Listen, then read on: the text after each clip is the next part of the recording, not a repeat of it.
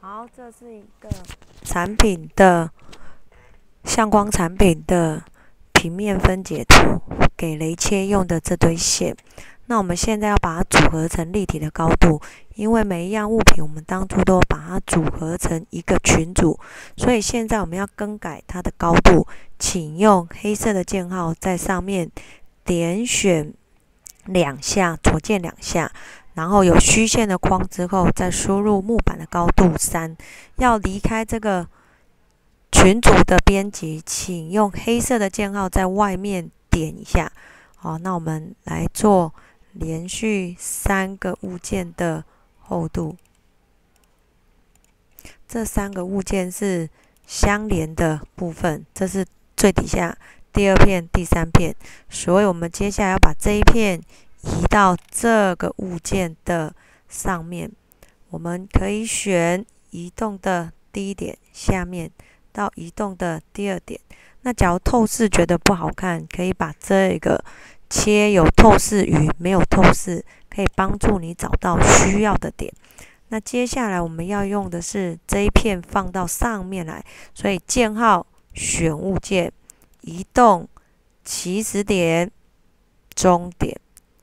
假如你的物件，假如你的物件都可以很顺利的放在你的目标点上，表示你找的起始点跟终点都是合理的。那接下来我们要来做它的支架的这个部分，一样先长高厚度。那因为这支架要立起来，所以我们要把它旋转。先用选取工具选它，用旋转工具找它。但这转盘就要注意，我们是要把它立起来，在这方向是要找红色。第一点，第二点，立起来，我们要九十度 Enter。接着我们再立另外一片，一样箭号选起来，旋转的工具，第一点，第二点，九十度。立好了之后，我们要把其中的这两片放进我们的支架上面，所以一样先长高厚度。好，接着这两片是一起的，所以我们就把这两片叠在一起，然后 Shift 按着加一次变两片。我们的方向是要转九十度，所以我们要再找转盘，这次要找绿色的转盘，所以请在绿色转盘第一下、第二下旋转九十度，然后我们要把这个放进这里面或者是上面都可以，一样用移动找点对点放进去，接着我们要找另外这两片。把另外这两片一样长高三 mm，长高三 mm，然后我们要用选取的工具移动第一点、第二点，然后这方向与原物件的方向也不合，所以我们要来做旋转九十度。然后要立起来这个物件，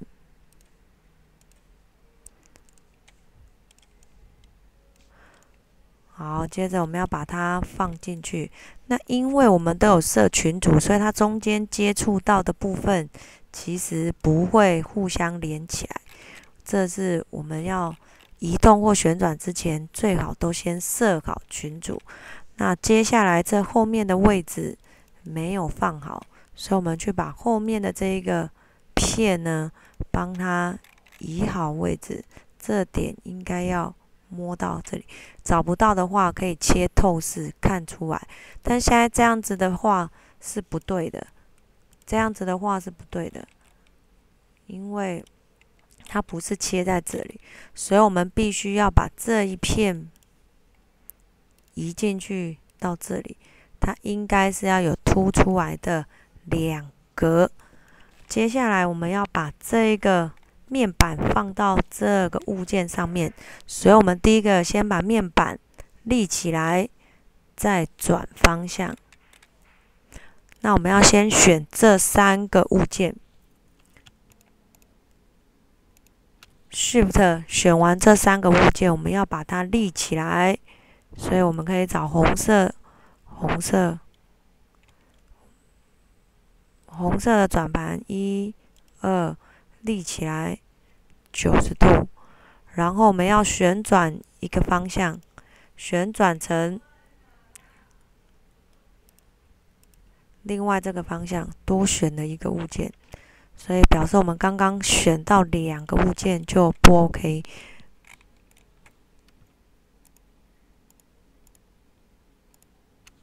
好，再做一次立起来，找红色的转盘，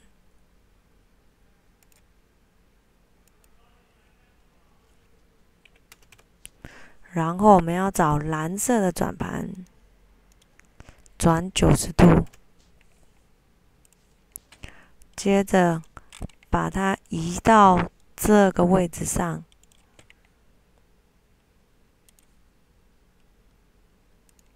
那这是倾斜着放的，所以我们接着要把这个转盘的不动的圆心是以这里为旋转中心。第一点，第二点，请它躺在这个斜边的上面。